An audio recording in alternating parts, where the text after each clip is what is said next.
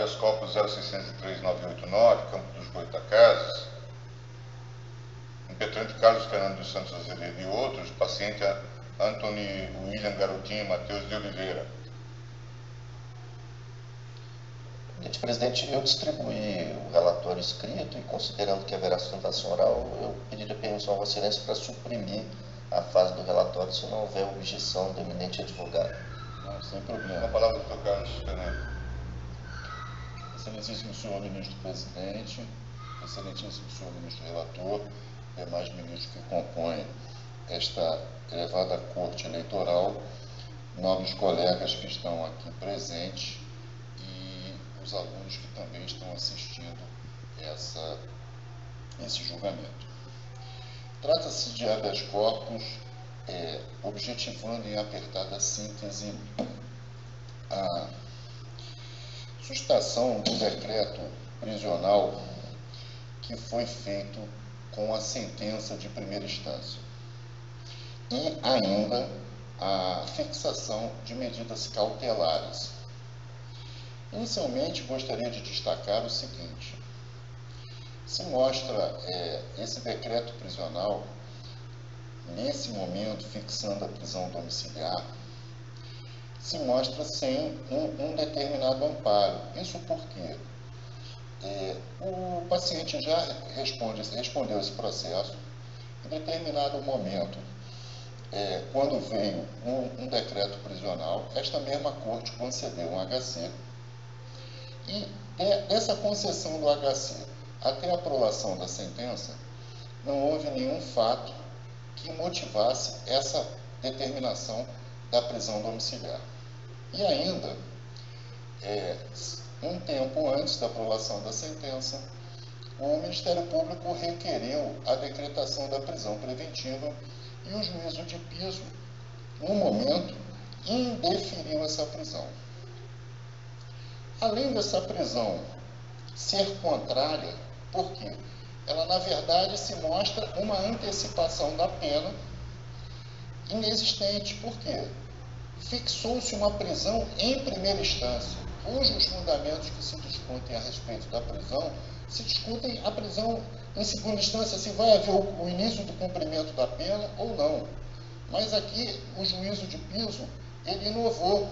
E o que é pior, senhores ministros, ele decreta essa prisão de ofício, porque não há nenhum requerimento do Ministério Público para que essa custódia prisional seja decretada na sentença.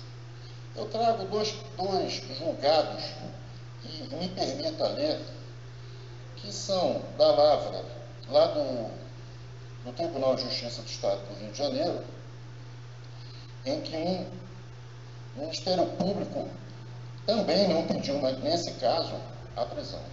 Habeas corpus, paciente que praticou em tese de homicídio, triplamente qualificado e foi denunciado em juízo Juiz de plantão que decretou a prisão preventiva sem nenhuma alteração no quadro fático. Isso a gente até toma por empréstimo com os dizeres do, do ministro relator, que em uma reclamação interposta, ele no finalzinho da reclamação, ele diz assim, olha, essa, essa decisão, ela não deve ser conhecida através de reclamação mas por hora vislumbro que não há nenhuma alteração no quadro fático existente. Por isso que essa prisão ela é arbitrária. Além do mais, as condições fixadas como cautelares já foram examinadas anteriormente aqui por esse TSE. No primeiro HC, em que o, o ex-governador Antônio Garotinho ele está impedido de dar dar entrevista, se manifestar pelas redes sociais e ainda impedido de exercer as suas funções como jornalista na, no programa que faz na Rádio Tupi. Isso foi enfrentado anteriormente. Habeas corpus, paciente que praticou entrega delito. Não, peraí.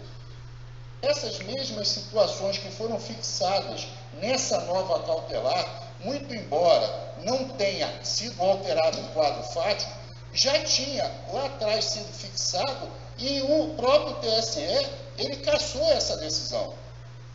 Além do que também uma outra prisão foi caçada pelo TSE, e aquela prisão que, que foi emblemática, né, que foi midiática, ao argumento, encontrando-se a instrução probatória já desenvolvida, inclusive com o cumprimento de inúmeros mandados de busca e apreensão, não há que se falar em ameaça de destruição de provas, a elucidação dos fatos, de forma que a liberdade do paciente não oferece risco à regularidade da instrução criminal. Ora, se a liberdade dele não oferecia risco à instrução criminal e nenhum fato novo ocorreu até a aprovação da sentença, muito menos agora, que não há instrução criminal e, e, e não podemos mantê-lo nessa prisão domiciliar. Revelando o caso, a apuração de crime eleitoral de. Vejam, senhores ministros, é um crime eleitoral de compra de votos. O garotinho não está preso por nenhum crime dessas que a gente que são noticiados diariamente no, no Jornal Nacional, nos bastidores de elevadas corrupções. Não. O crime em espécie aqui é uma suposta corrupção eleitoral em que Garotinho é acusado de supostamente ter beneficiado pessoas com um programa que já existia há mais de 10 anos. Um programa de cheque cidadão que foi copiado pelo presidente Lula através do Bolsa Família. Tá? Então, esse quadro inusitado dessa prisão em primeiro grau, dessa fixação de, dessas cautelares, além do mais, atinge o princípio da dignidade da pessoa humana, porque garotinho hoje, ele vive do seu trabalho na rádio.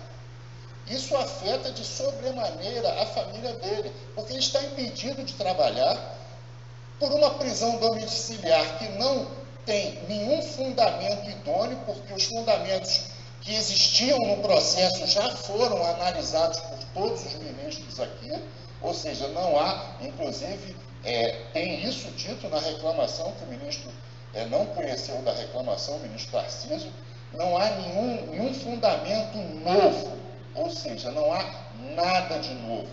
E aí o juízo de piso pega, decreta essa prisão domiciliar e impõe duas cautelares, a meu sentir, absurdas, porque uma fixa, impede ele de se manifestar nas redes sociais, como já os ministros aqui já se manifestaram favoravelmente ante, é, é, em outro HC, e ainda o impedem de trabalhar. Por essas razões, espera a, a defesa que seja concedida o HC não só para é, determinar a revogação dessa prisão, e, e suprimir essa imposição dessas cautelares.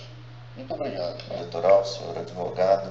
É, se não houver objeção, eu fiz a distribuição do voto com antecedência possível, voto que possivelmente ainda esteja evado de alguns vícios de digitação, porque depende de uma revisão final.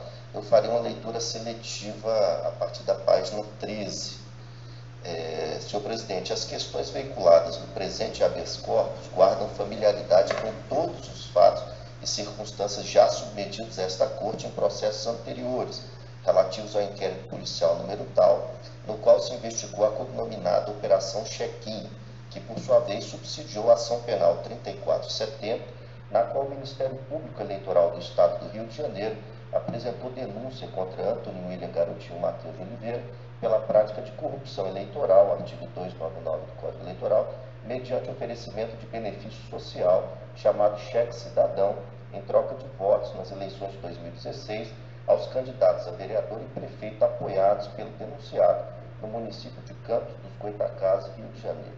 Além da prática da corrupção eleitoral, consta da denúncia que, com o objetivo de garantir o sucesso da empreitada criminosa, o réu teria ordenado a supressão de documentos públicos e de arquivos de computador, coagido testemunhas mediante grave ameaça e, por fim, teria perpetrado fraude na inclusão de beneficiários do aludido programa social.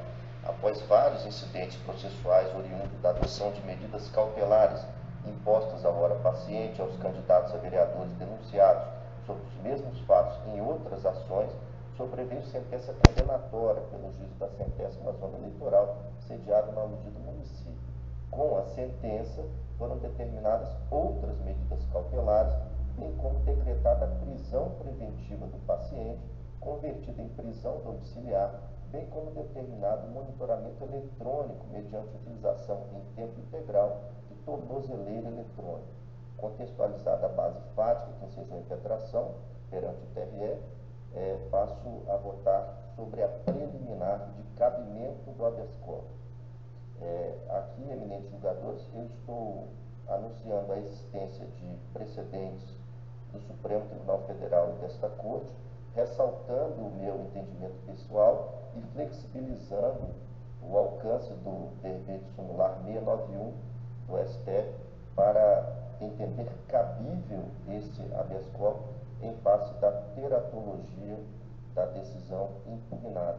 Senhor presidente, não sei se é o caso de destacar essa matéria. Não. Ponto 2. Delimitação cognitiva do presente habeas corpus. Estou propondo conhecimento apenas parcial do READ. Feitas as considerações iniciais acerca do cabimento, é necessário delimitar objetivamente a causa de pedido, para que o conhecimento da ação não transborde as balizas traçadas pelo acordo apontado como coator, o que resultaria em devida supressão de instância.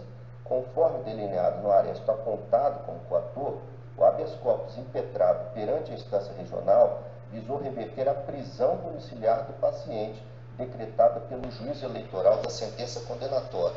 É o que consta da emenda que transcreva as páginas 18 e 19. De pronto se infere da emenda do acordo atacado que toda a fundamentação adotada como razão de decidir pela Corte Acó gira em torno da legalidade do decreto de prisão preventiva convertido em domiciliar em desfavor do paciente. No presente REIT, os impretantes pugnam pela imediata revogação da prisão decretada na sentença, assim como de todas as medidas cautelares arbitradas pelo juiz zonal com fundamento no artigo 319 do CPP. Entretanto, considerando os estreitos limites do acordo atacado, impôs o conhecimento parcial do RIT, de modo que a presente decisão se restringirá à análise da legalidade da prisão preventiva convertida em prisão domiciliar. Registre-se ainda que os fundamentos da petição inicial relativos à inexistência de provas do envolvimento do paciente em suposto oferecimento de vantagem financeira ao magistrado que antecedeu o sentenciante, bem como ao aumento do rol de medidas cautelares a serem